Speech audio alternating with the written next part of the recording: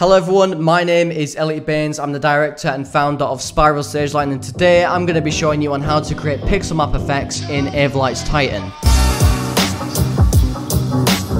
So a few years back we did film a tutorial but time's flown by and so we thought we'd make a more updated version because there are more features uh, to version 14 which is the latest version we're on. Before we jump into the software, if you haven't yet, make sure to subscribe, turn notifications on and like if you haven't already. We have got some cool content coming up so don't miss out. Let's jump into the software. So as you can see this is just a basic workspace window I've created uh, and it's running a pixel map effect in the corner as you can see on capture. First of all let's talk about editing the group layouts because that is the most important step.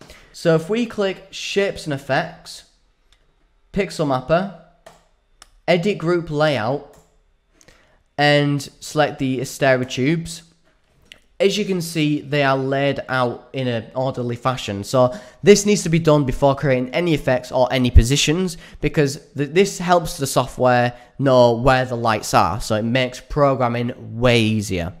And also on pixel lights, as you can see, there is a red and a green dot at either end.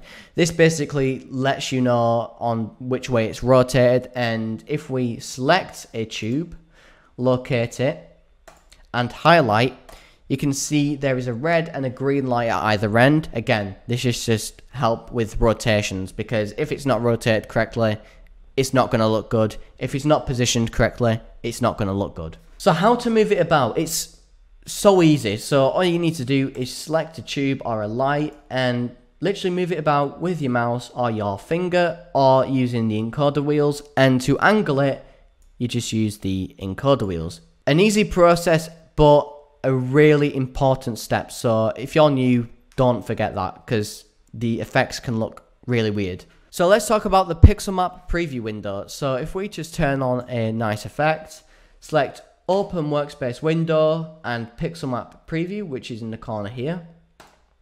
This basically tells you on what the pixel mapper is doing. So these are the spots, and as you can tell, it is basically the same layout in the layout editor. And if we select down here, these are the Astera tubes, and again, it's just showing you on what it's doing. So now let's jump into the actual pixel mapper. So let's create an effect with the Astera tube. So if we click Shapes and Effects, Pixel Mapper.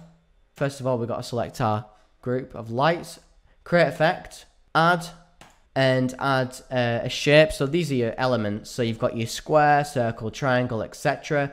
But you've also got the AI logo. Now, to the people who are new to Avolites and don't know what this means, AI is basically media servers that Avolites create, and it's also video software. And they also brought out a feature called Synergy.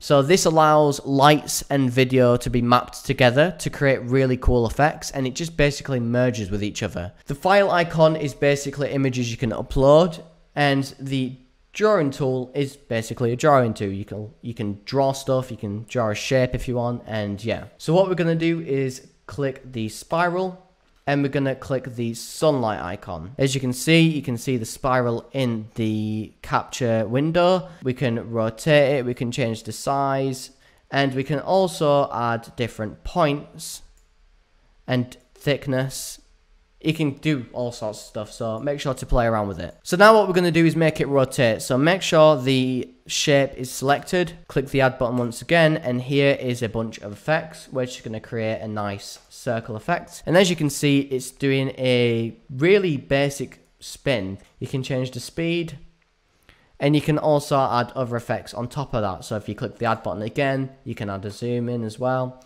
You can do all sorts of stuff. To change the color of the shape, all you need to do is click the layer. Let's change it red.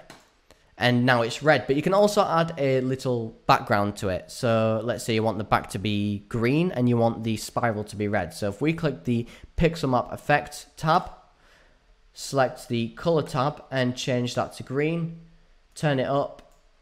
And now you can see there is now a nice green backlight to it. So it just makes it stand out more. I hope this tutorial helped you out. If you've got any questions, don't hesitate to contact me, spiralstagelighting.com, and all the social media links are in the description down below. Leave a comment, like, subscribe, and turn notifications on because we've got some amazing stuff coming up. And I will see you in the next one.